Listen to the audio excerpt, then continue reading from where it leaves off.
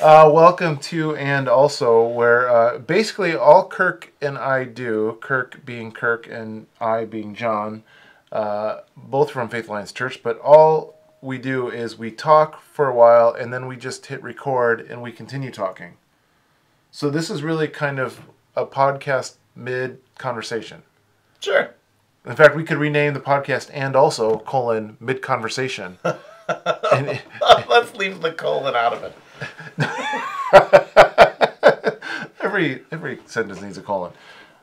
And also, comma, mid conversation. That doesn't work as well. Okay, anyway, we are um, in mid conversation in the book of Romans.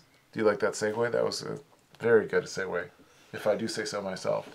Uh, where we are talking through, um, we talked through the previous week's sermon, and we do that for kind of our little local audience, for anyone who's interested in listening to um, get a little bit of a wider perspective on the scripture, a little bit of a wider perspective on uh, how do we actually talk about this stuff in the world? What does it actually mean? Is there application for it?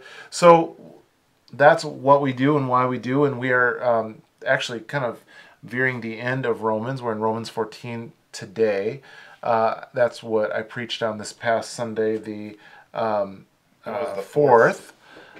And so, uh, so Kirk and I will pick up Romans 14, where we are told not to destroy the work of God for the sake of food. Which is probably the best line ever for any potluck. That is, yeah, that that that could go. That could we can make a banner out of that. From now on, anytime a bunch of casserole dishes and hot pot pots show up, that's what we're saying. Don't destroy the work Slow of God for the cookers. sake of food. That's, Amen. and that's all. Well, what so so when you think about Romans 14, I think you know there's a there's a there's a lot there is I would say two things. There's a lot of application for Romans 14 about how to live together in relationship with each other. Oh, yeah. There's also a lot of misperception in Romans 14 of how to do that poorly, right? You like you can do it like I think if if you get Romans 14 well, it's it's a recipe for lack of a better word for how to live well in Christ and how to live well with, with each other. But then you can also kind of misinterpret it and get it wrong. But anyway, we, we can get into those things. But what when you read Romans 14, what are you what are you noticing? Um, having, as a, uh teenager, seen the movie uh, Peter and Paul, it was a TV miniseries.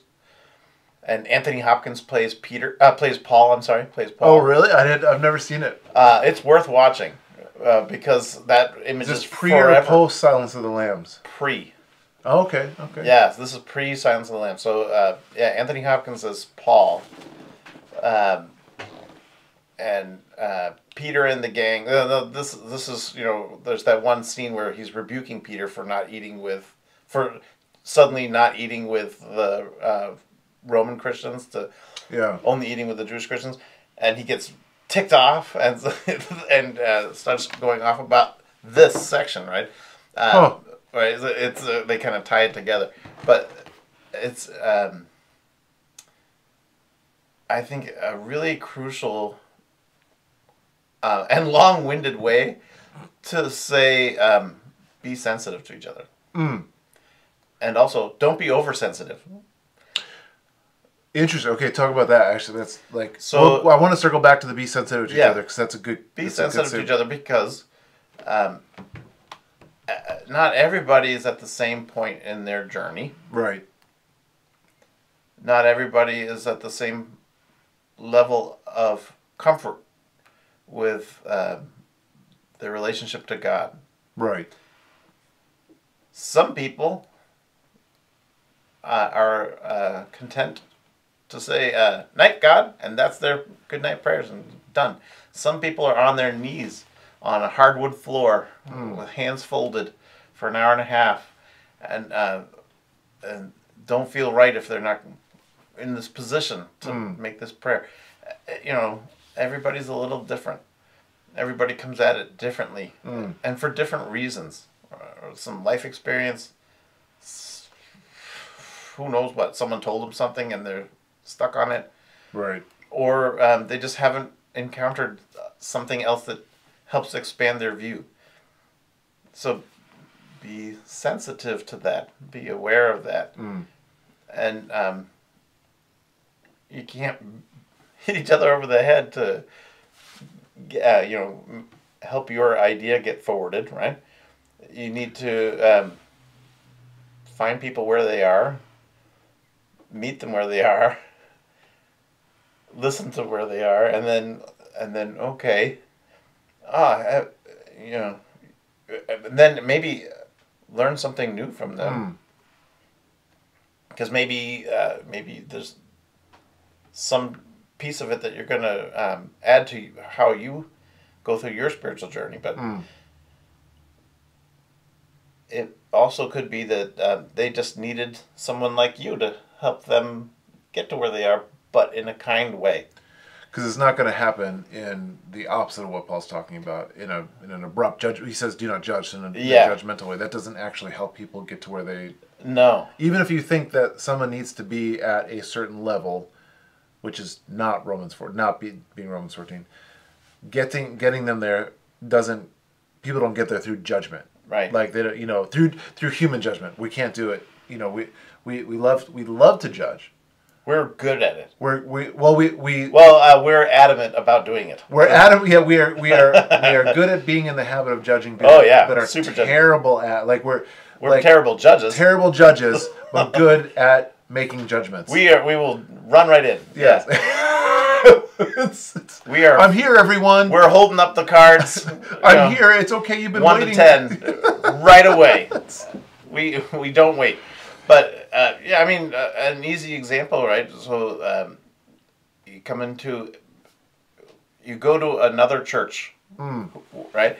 When you walk into other church, wherever that is, everyone's wearing suits, but you didn't.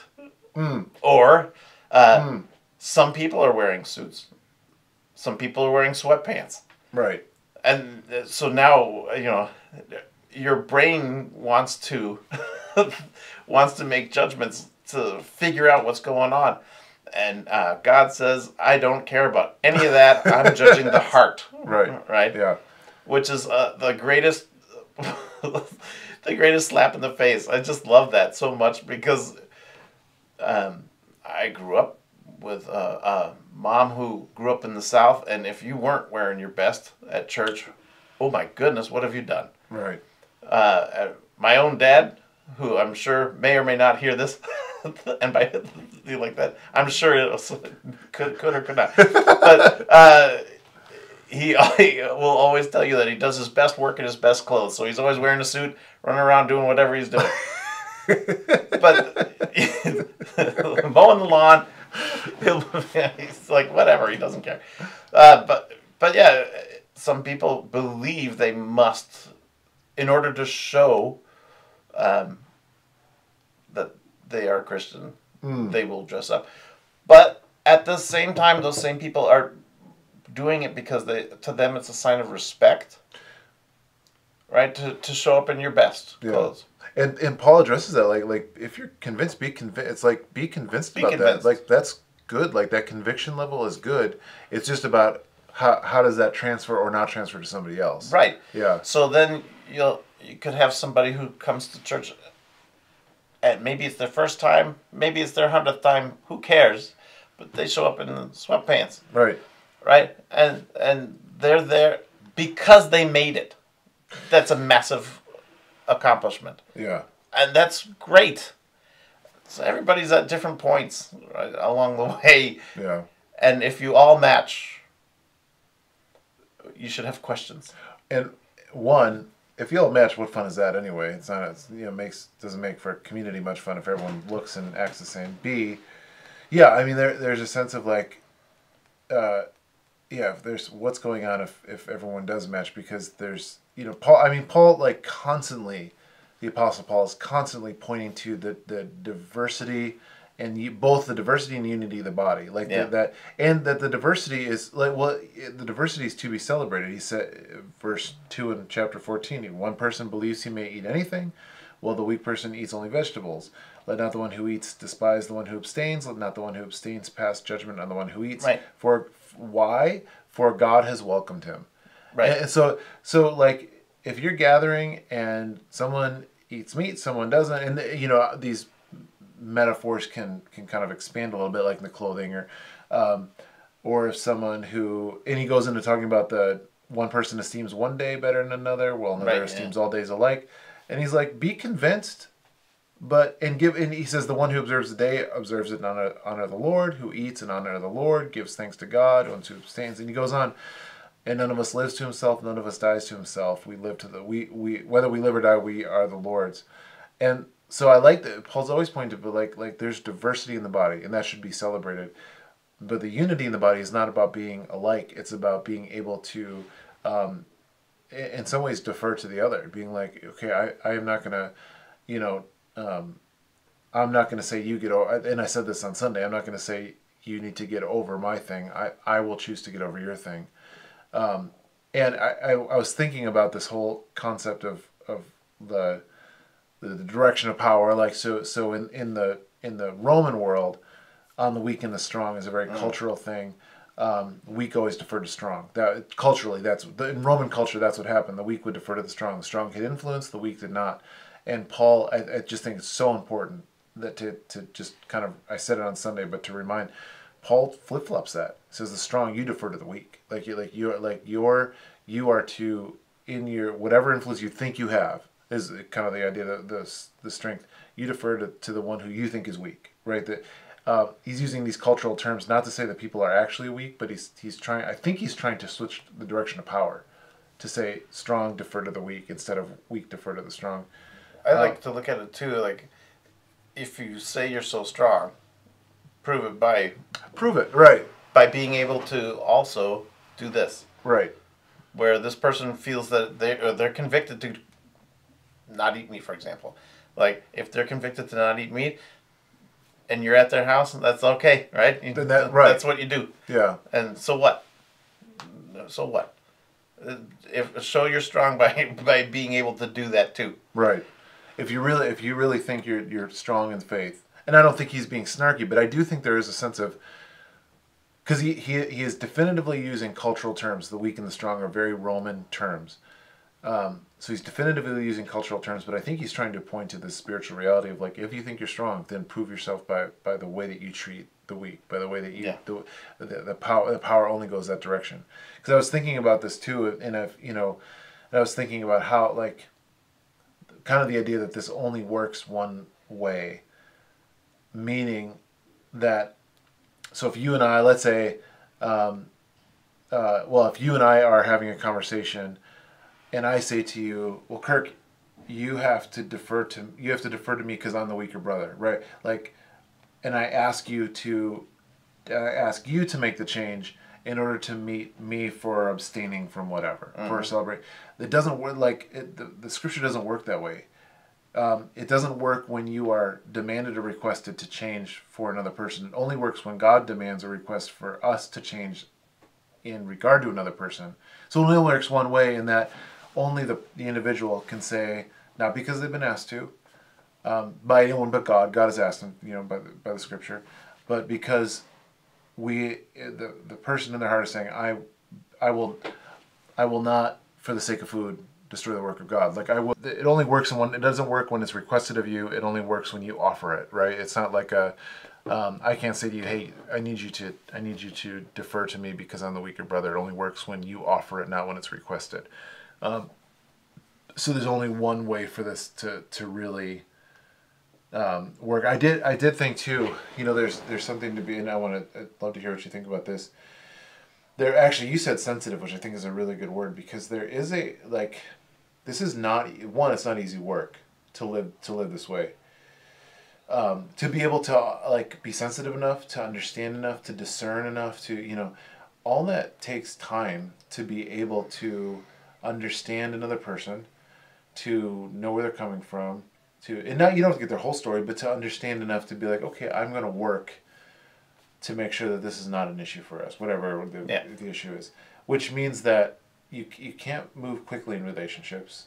You can't you know you can't um, uh, assume a lot. You can't go you know there, there's a lot you have to you have to kind of when you navigate relationships in romans 14 it's got to be much much slower you know, and and because there's a there's a real sense of like I'm going to know you, in order, for me, not to be a hindrance to you. You know, like for that that and he said, you know, Paul says later on, he's like, what kind of like why do you do this? Um, or at the end of 14 oh here it is sorry romans 14 19 let us pursue what makes for peace and for mutual upbuilding.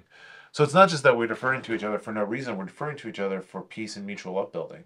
Like in- it's it's it's encouragement you know? So there's a cause to this there's an end to this.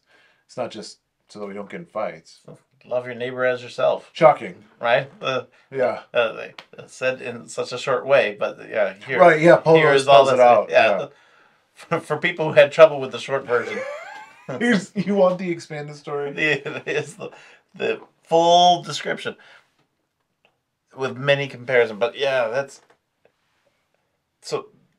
Don't be overly sensitive, yeah what yeah talk about that you mentioned that before so what does it mean to be overly sensitive then right? So now, if you are the weaker in that relationship, why? Hmm. And can can you be flexible? Hmm. Because maybe, I mean, it, this is, uh, requires self examination, right? So you have to look at your why am I this way? Why have I chosen this way? Why have I made you know this special or unique in my uh, life? Whatever this is, that's uh, you know now the hindrance in the relationship.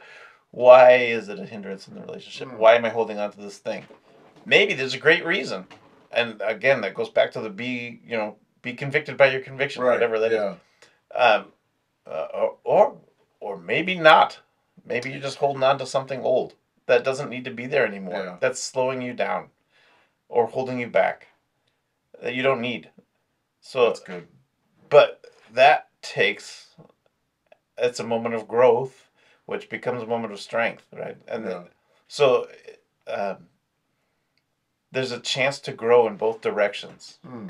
strong or weak doesn't matter either way now you have to meet the other person to find this kind of equilibrium Yeah, so so that's really that I, I like that because it's there's a sense of hey, in order for us to mutual upbuild for peace, but really to grow, it it's it's not just going to happen on my own. It's got to happen through me deferring to other people, but then also when people are deferring to me, because I, I also I also think I, and and I this is it's not a hot take, but I also think like there it's not like there are people who are strong and people who are weak.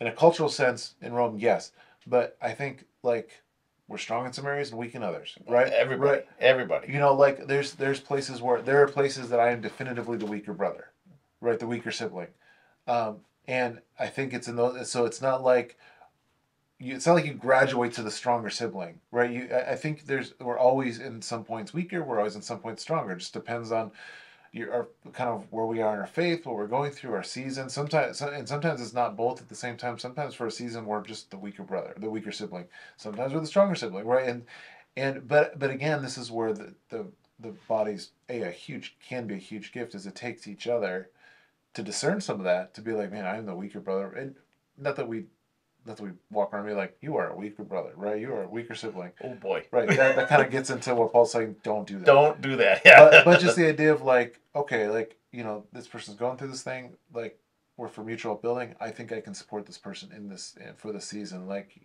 so or sometimes you've been through that thing right it's yeah that's and you've really, come yeah. out on some other side and you, you can now offer guidance and there is a strength in that Yeah. i've been through it so i can in this i can you know so in it, it you i appreciate the perspective of like this is one, another one of those times where it's like man i wish i would have wish i would have did this before the sermon or I could have used like the sensitive, not Oh, oversensitive. That's sorry. Really, it's really good. It's just well, it's a really good way of thinking of it. Of like, okay, don't be sensitive to the other person, but then internally, don't don't be oversensitive about this. Like, because I, I think you could, if you observed, just using Paul's language, if Yeah. you observed a day, but then you said you're not a real Christian unless you observe that day. Paul's saying, who cares what days you observe? But then if you use that as as a means to say, well, you got to observe this day, um, and the fact that you don't observe that day, man, that that really grinds my gears. That's you're being a little oversensitive about that that very thing. It's too, you know. Um, so you're right that that not being oversensitive part that that's that's a whole part of it too. You know, uh, that's just a good, uh, just additional perspective of okay, how do we, how do we live in mutual upbuilding? Right? There's there's there's got to be a both and. It's not just So uh, I experienced exactly that scenario uh, as a teenager in our high school. I went to a private Christian high school, um, and part of that uh, experience involved being uh, in a choir. As anyone who can uh, tell from my amazing mellow tones, that I was a fantastic singer. But the the choir, you joined the choir because the choir went on tour, right? So you got to Oh, get out of classes for yeah. a couple days and That's go, wise. go someplace, it's wisdom right there. right? So uh, the one time the choir went on tour to uh, exotic Long Island. Wow. Yeah, uh, uh, and we went to exotic Long Island to uh, perform perform at uh, other uh, uh, Christian Reform churches. Right, it was, Oh, it was a Christian yeah. Reform uh, school, so Christian Reform churches. Uh, and so while we were there uh, singing along, uh, we had a Saturday night concert. Next morning, we're going to perform also for a Sunday morning service, but we're we're staying in the homes of many Oh, of the okay. parishioners. They've taken us in, which was very thoughtful. Um, mostly older couples, um, and some of them, the majority of them, are uh, absolutely strict about do no work on the Sabbath Mm. nothing on the Sabbath.